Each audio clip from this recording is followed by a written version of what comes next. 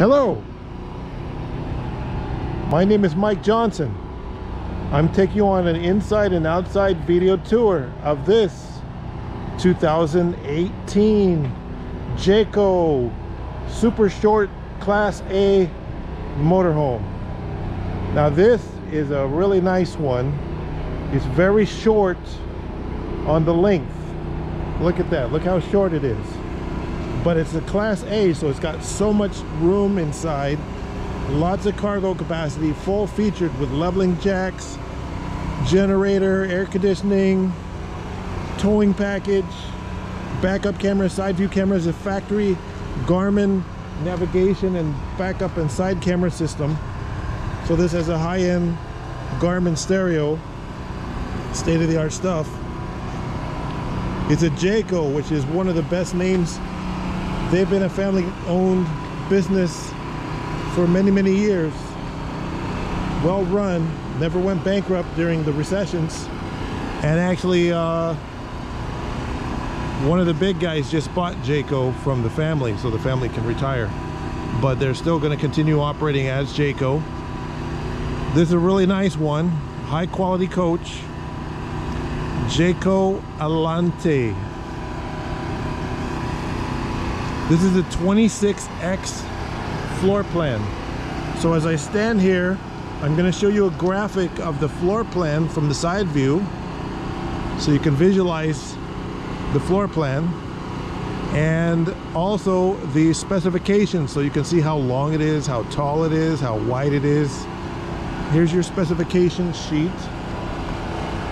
This is a really nice one. It's got the outside giant TV and stereo system Right now we're in the middle of a cul-de-sac scanning for channels. So far it's found 80 digital channels, but it's still looking. We're in the middle of a parking lot and it's picked up 80 digital channels already. Or a cul-de-sac actually. So because it's a short one, you can drive it very easily with a car driver's license. You can maneuver it in parking lots and you can get campground spaces for shorter motorhomes. This is shorter than a lot of the C-Class. Now I'm going to show you what a C-Class is. C-Class has the Ford van front end. This is a 26 footer so it's almost as short as the little Mercedes-Benz motorhomes yet it's a bigger more spacious class A it's done searching for channels it found the channels in the middle of a cul-de-sac. Worsened breathing, chest pain, mouth or tongue swelling, problems urinating, vision changes, or eye pain occur. For real protection, ask your doctor. We're going to turn off the volume here. Front loader odor. You know that smell when you open So when you're out in the middle of nowhere, you can watch TV at the campground if you want to relax in your and have a few drinks. You can have your big old TV going. That's a nice big outside TV.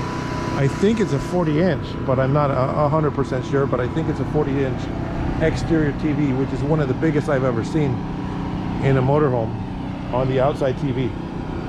And it's got a stereo mounted in that compartment as well.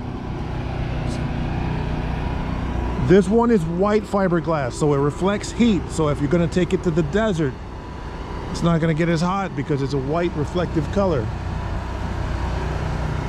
It's pretty glossy and clean exterior condition. This one even has a sun resistant slide topper awning. So over the slide out is a topper awning. Those are really important because they keep off rain, dirt, debris, leaves. You know, when you go to a nice campground and you park under a tree, then the birds and the squirrels are throwing acorns on top of your RV.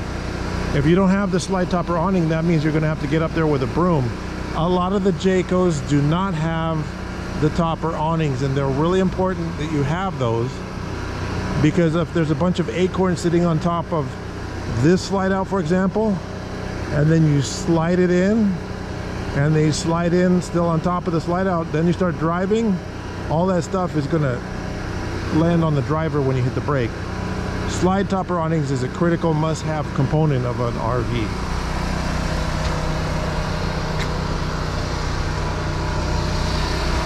and these actually have the heat and sun shields on them which is very rare You've got your hookup station right here. Black and gray tanks. They are kind of exposed. They do have heating elements on it, but this is not a, a coach that you would take into freezing winter conditions. This is not a good for when you're going to go camping at 17 degrees below zero. For that, you need something different. But if you're going to go camp in the summertime or all year long, like along the beach, here in California, there's a lot of really nice campsites along the coast. Here's a picture of one in Malibu. You can rent a campsite in Malibu overlooking the ocean. But when you do these beachfront campsites, the length is critical. If it's too long, it's a lot harder to reserve a space. So having a 26 footer, you say, how long is your RV? Oh, it's a 26 foot uh, motorhome. Oh, okay. We have 30 26 foot spaces and we have two 40 foot spaces. So the 40 foot spaces are sold out for the next year, but we have three 26 foot spaces available. Which one you want? So that's the advantage of a short floor plan. Now, if you want to figure out what campgrounds you might want to stay at before we go in and look at more of the RV, I highly recommend that you have the Good Sam app, which is free. You can search for campgrounds. Here's a screenshot. The Good Sam app will let you look for campgrounds. And then when you find one you might want, you can click on it after you've searched the map where you're going to be or where you are now pick a campground see what ratings and reviews it has. It's pretty cool. This one has a lot of big cargo storage. Before we go inside an advantage of an A-class are these big cargo compartments. That's your hookups right there. You've got really cool easy to use water valves with a map that shows you which way they should be pointed. Mint condition hoses, even a paper towel holder in here. You got lots of hoses in this rig. These are huge cargo compartment doors. Your generator's running nice and smooth. Now, we had to put a new carburetor on this generator because a lot of people don't use their generators enough and then it won't run or won't start. This one was almost not used at all has extremely low time on the generator and so the carburetor gummed up from lack of use. So we put a brand new carburetor on it. Cargo compartments. More cargo compartments. These are tall. A lot of the C-class motorhomes the compartment is only one-third as tall as this. Here is a box for a 24 inch television. So this is a big old box, just so you can visualize the size. These have LED lights inside the cargo compartments. A lot of RVs don't give you lights in the compartments, but this one has them. This RV has an inverter on it. We'll talk about that later. Has new batteries in it. Auto leveling.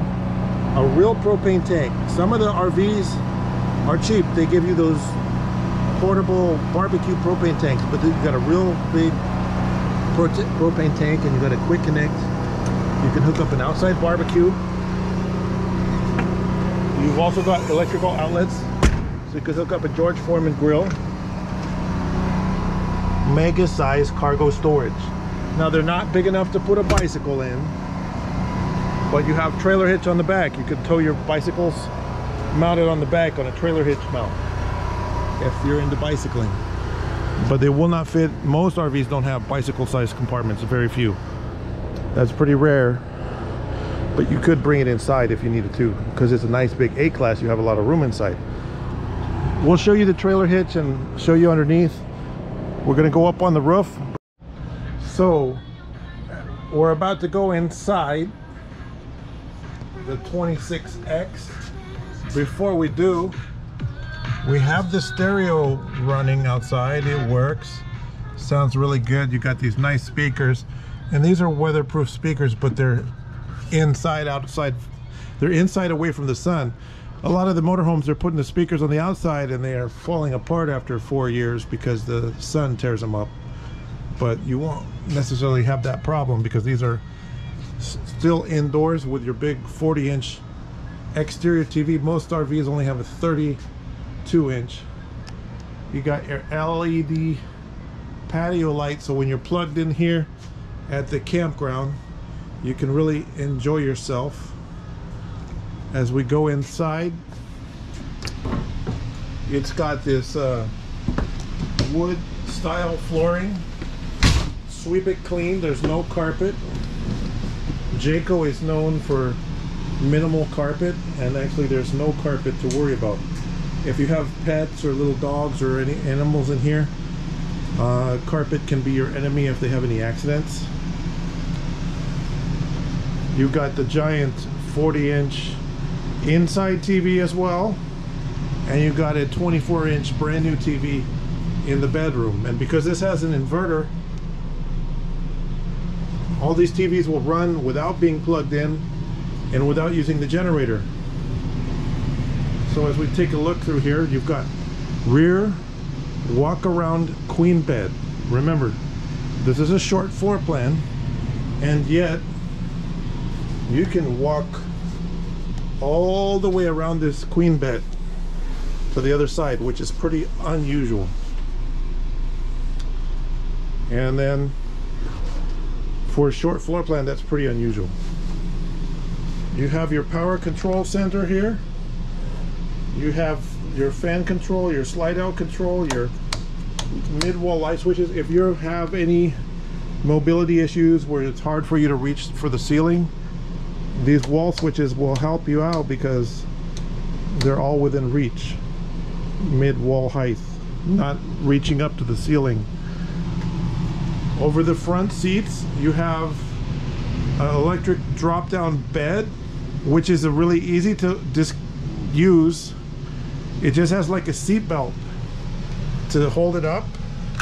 You just unclip the seat belt and then you can turn, make sure the key is on, and then you lower it down. The seats have to be in the correct position to lower it down. They are not right now. You have your center table here installed, which is removable. It just twists and it comes loose, the center table. And then you can uh, enjoy yourself. These swivel around for extra additional seating in addition to your sofa and your dinette. Remember, this is a short floor plan. There's a lot of room in here. This is like van life short floor plan. It's a just about the same length as a Mercedes Sprinter, but with two slide outs and being a Class A, oh, you have so much room. And you have a full bathroom in here. Let's go check it out. With a real door, you open up the bathroom, and you have your shower with a glass enclosure in here. Your shower massage spray head. You have a nice giant window in the restroom. Overhead roof vent fan with a weatherproof vent over the top. We installed a brand new weatherproof vent. You've got a nice big sink. A second sink. It's a lot of luxury in here. My wife likes to watch this uh, YouTubers Kara and Nate and they're trying to make do in a little van, a little Mercedes van going all over the country during the COVID. And it's pretty hard with a little van, but not with something like this. It's a big, fancy RV here where you got room to move around. We're gonna lower the bed in a second. We gotta put the seats into position. So I'm gonna put these seats in a forward facing position so that they will not interfere. And then I'm going to hit the switch. And you want to make sure you're not going to interfere with anything and lower it down. Put the armrest down. Okay, that's it. It's down to the top of the seats. Now, your electric bed is in the down position. the roof access, I'm sorry, the bed access ladder is up on top. It even has a little safety thing. If you've got smaller kids, you can put this little fence up to prevent them from falling down. So they included that. There's two of these little fences. And it's a pretty good design. It's very quiet. Like I said, some of these RVs with the electric beds have a complicated like you have to put a pin in and they get stuck and they don't line up. This is just like a seatbelt for your car. You plug it in and that protects this uh, bed from dropping when you're driving. It's a pretty nice setup. You want to put it up? Just hit the button and it goes up oh I was playing with the light switch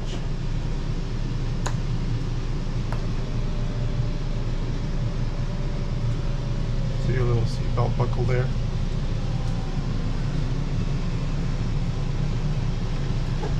So if you're about to head out, you just clip in the seatbelt and make sure that this bed will be prevented from dropping down on you. So, and you can also turn the key off so it won't have electrical power. There is additional storage in here. You have these full window shades. We're close to another RV in front. So lighted controls here, power mirrors, lowering the power window shade with the controls here, it drops down, and you have total privacy in here. So we're going on a little test drive of the 26X Jayco Alante. This one has 15,761 miles on the odometer. And we're driving we have our side view cameras. We have our Garmin navigation system.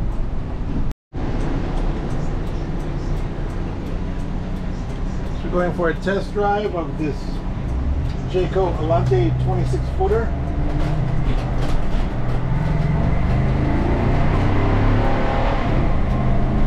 Has side view cameras. Has a lot of power because it's got that big V10 engine and it's not that big and heavy. Let's go in this parking lot over here. Practice pulling it into a parking space. We have navigation, side view camera, that's your nav. It actually has built-in Garmin navigation. So we're going to maneuver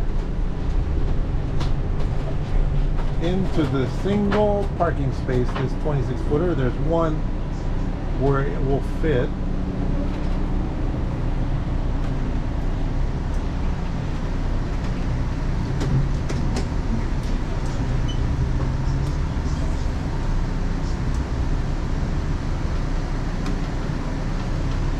Using my backup camera to see where I'm going and I'm using my towing mirrors to see where I'm going. I have two big towing mirrors.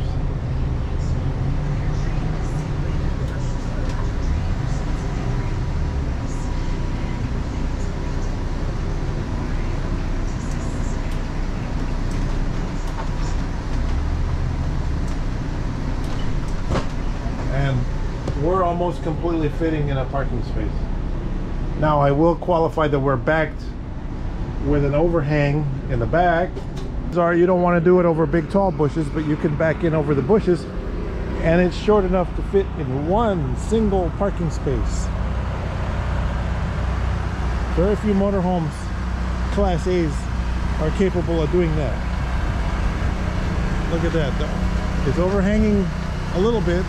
You wouldn't want to do it if there's a pole behind you but this this parking spot I know I fit in one single parking spot. So with your in-dash Garmin navigation, you can navigate you to your destination. You've got your cruise control. Again, your backup camera. Side view camera. It's pretty easy to drive. Because it's a 2018, it has the newer six-speed automatic transmission.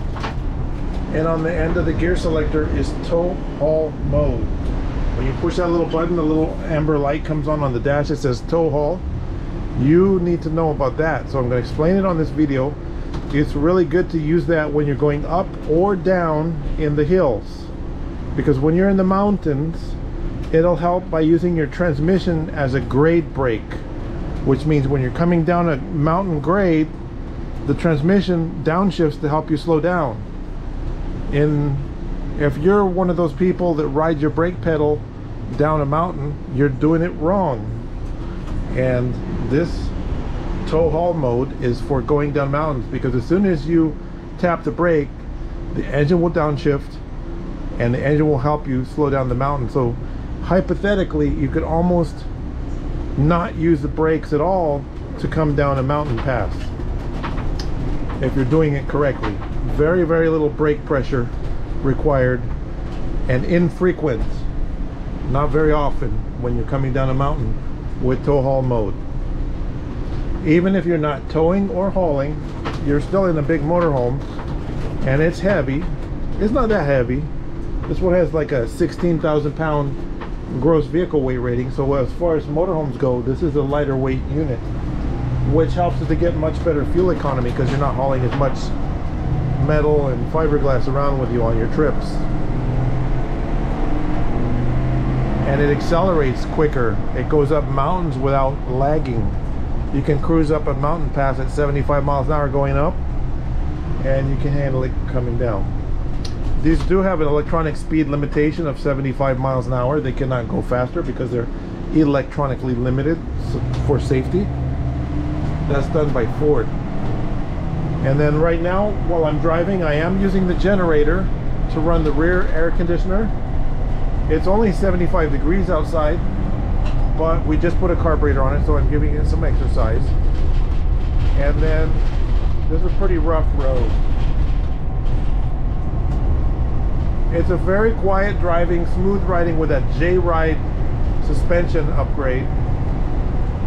But uh, it's not bad. Anyone can drive this. It's not too long. Versus class A motorhomes can get up to 40 feet long just on gas rigs 38 39 feet. And you don't necessarily need that much space. You can still sleep so many people in here. So nice little test drive here and parking demonstration. So I hope you enjoyed your little test drive there. I'm gonna go around the inside. So this is a jackknife sofa. So you just remove the little armrest and it flips into a, a bed. One or two small people could sleep there this is a dream dinette with a table vader these are great so you have a little release handle under here you release it and it goes down like an elevator so you literally just push it down. You'd move the cushions out of the way. It fits into its little notch and then you put the cushions to make it across into a bed. Piece of cake. And just lock the handle in place, it's a table again. That simple, from bed to table in seconds. You have a full kitchen over here. three burner cooktop stainless steel sink your TV you can watch TV while you're making dinner a large capacity microwave oven it's not the little tiny microwave this is the like a two cubic foot large format microwave oven RV absorption refrigerator this is a high efficiency refrigerator so it's ideal if you want to dry camp uh, with primitive campsites with no hookups. Me and my family, we like to go to full hookup campgrounds. What's the difference? A full hookup campground has water, sewer, and electrical hookups. It's just like being in an apartment when you're in a full hookup campground.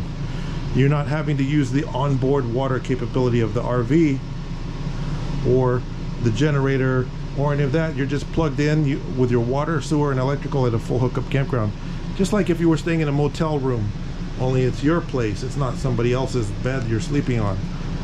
Um, but if you go primitive camping, that's a campground like in the middle of the desert or a parking lot where there's no water, sewer, or electrical hookups.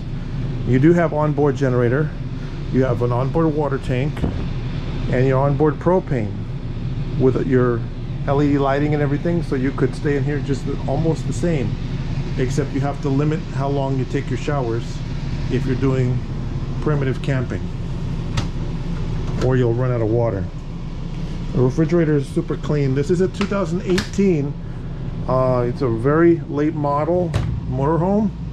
Very little use at all on this. It's almost like they bought it, took it for a few trips, and said, "Oh, that's it. We got our RV fixed."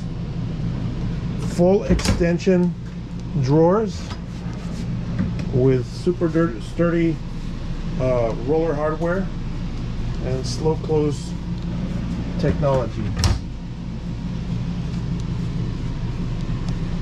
Additional storage over here for clothes or pantry or whatever. Pull out full extension drawers. Additional storage. Now, if you go to a longer RV, you may have more storage. But then it's harder to get into those cool campsites that you may want to you know beachfront or whatever but this is nice this is all that most people would ever need there's additional storage in the drop down bed right here you have a little storage right here you have storage but you have your electrical TV center and your Blu-ray disc player sourcing out to your TV so you can watch movies you've got three TVs in here. Nice big cabinets underneath with storage. Drawers. Lot of people like to, and you have an actual propane fired oven. So if you do primitive camping, the propane oven's a big deal. Me and my family, we almost never use the oven, but for some people, they use it all the time but if if you have a barbecue in one of your cargo compartments you can plug it into the outside propane port in barbecue outside instead of using the propane inside and I think that's more enjoyable but hey people love their oven although this one looks like nobody ever used it now I did have a professional housekeeper come through and clean everything so this has all been professionally cleaned We've fixed everything we could find wrong with it, so it's ready to go. You can head for the campground, buy it tonight, camp in it tonight. It's ready to go. So I'm trying not to make my video too long, but I want to show you a few of the control features. Up here, it's only got about 120 hours on the generator total time, which these things will last 4,000, 5,000 hours. This is your inverter enable or disable switch. So if you're dry camping and you want your TVs and outlets to be functioning, you turn on the inverter. And it uses the battery power from the RV batteries to power the 110 volt outlets. Now it's not enough power to run hair dryers and high current use appliances, but for small things like charging phones and iPads and laptop computers and powering the TVs, it'll work just fine. Now it has an electric water heater source and a gas propane water heater heat source. Dual source water heating with a switch right here. You don't have to go outside and turn on the switch or play mystery games with it. It's all right here. If you're in a full hookup campground plugged into 110 volt power, you have electric water heat source and you can save your propane. You can turn that off and you'll still have hot water. But if it's a lot of you you would want to use both so that you have quick recovery time on your water heater so a lot of people could take showers especially at a full hookup campground and you can also take nice long showers at a full hookup campground because you're not drawing from your onboard water supply it has tank heaters so if you are going to be in conditions where it might get below freezing overnight, you would turn on your tank heater. It has a thermostat in it. It doesn't heat the tanks unless it gets close to freezing. And then it uses your 12 volt battery to provide heat to the uh, heating elements to warm up your plumbing underneath. Your slide out controls, you have two slide out controls for the bedroom, one by the bedroom and one over here. So you can close it from over here. And then of course checking your fluid levels right here. Over in the bedroom, over here is your AC control, power outlets. And right now it knows we're on 30 amp power. You can turn the light on and you can scroll water heaters. What this system is, if you, let's say you park in front of your house before you go on your trip and you want to plug it in, but you only have a 110 outlet like you might plug in a toaster in your kitchen. Um, you can use an adapter and plug it into that and you can so you can change your source from a, a 30 amp to a 20 amp or or maybe even a 15 amp by selecting see there's 20 amp and there's 15 amp so if you're if you're plugged into a 15 amp power source then the water heater will be disconnected. It doesn't have enough power to power that. At the same time it's running it's turning off the 110 to the refrigerator. The AC is still powered. And it's using 14 amps so it's using less than the 15 amps. This is a really smart technology. Most motorhomes don't have this especially a short floor plan rig like this is really cool. So if we scroll over to 15 amp when we change it back to yes we're plugged into 30 amps then it's using onboard math to allow all these different systems to work to make sure we don't overuse our amp power source. Right now it's only using 14 amps of the available 30 amps of power. It was using 27 because the water heaters and everything were on together. But for example if you go turn on a hair dryer it will shed some load so that you don't pop your circuit breaker. This is gives you an enjoyable use of only 30 amp power. Plus when you go to campground 30 amp power sites are usually less expensive a few dollars less per night. So this is the fan control for the fan over your bedroom slide control and lights. And yes you have power outlets scattered around in your bedroom. You have reading lights over the bed blackout curtains. So if you like to sleep in these are nice and thick so the light won't shine in to from sunlight if you don't want to wake up too early. Let's go out look underneath look on the roof so we're going to have a look underneath the Jayco Alante. We have all new batteries including the engine starting battery and the house batteries. Here's the tires. These tires are in great condition. It's low mileage. That's your springs your engine your radiators. It all looks almost like brand new. Just a little tiny bit of dust. It hasn't been driven in the snow or any kind of harsh conditions. All the tires are in great shape. Your hydraulic leveling jacks that's your catalytic converter right there. It's not been messed with. The muffler the exhaust and the differential and your drive shaft. Jayco says they balance the drive shafts for better results. Mud guards, 80 gallon fuel tank, your towing package with a 7 pin connector for plugging power to your trailer. And then uh, here's your weight certificate sticker. And then your propane tank is under there. The other side of your fuel tank, it's protected in the back there hydraulic leveling jacks again. Year six tires. These are Goodyear RV rated tires, smooth riding tires, and uh, great condition. Haven't been ground off on curbs or anything like that. It's super easy to drive this motorhome. Closer look at the exhaust and the engine. Look, there's no leaks. It's not leaking or seeping any kind of fluids. It's sealed up tight as a drum. And then your springs again So this is on the Ford F53 motorhome chassis with a big V10 engine in the front.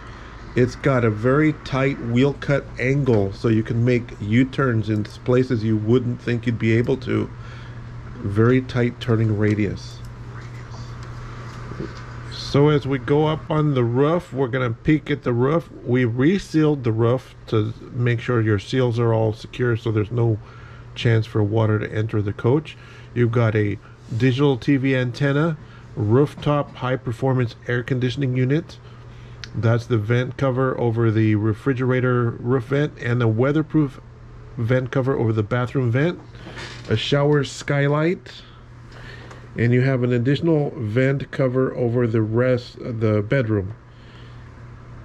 Up on top we have a power awning.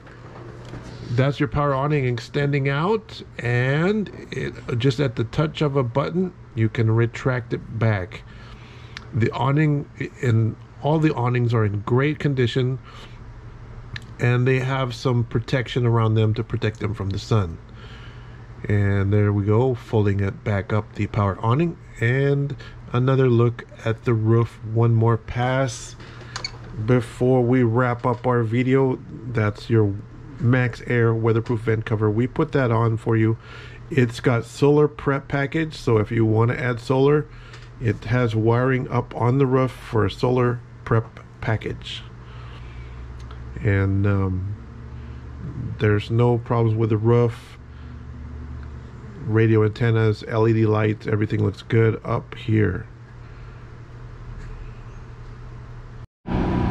So as I'm wrapping up my video tour of this motorhome, Jayco Alante 26X, see if it's still available by going on my website. This is the website here. It's mybestcar.com. If it is available and you're going to buy it, you're going to pay your check to the owner of my company name a buyer's choice. Sometimes people put my videos in there for vehicle for sale listings. And just so you know, if you're paying to anyone other than a buyer's choice, then you're probably not looking at this actual motorhome. We're located in Jurupa Valley, California, zip code 92509, and we've been here for 21 years. My name is Mike Johnson. If you have questions, give me a call 951 681 2101. Thank you for watching.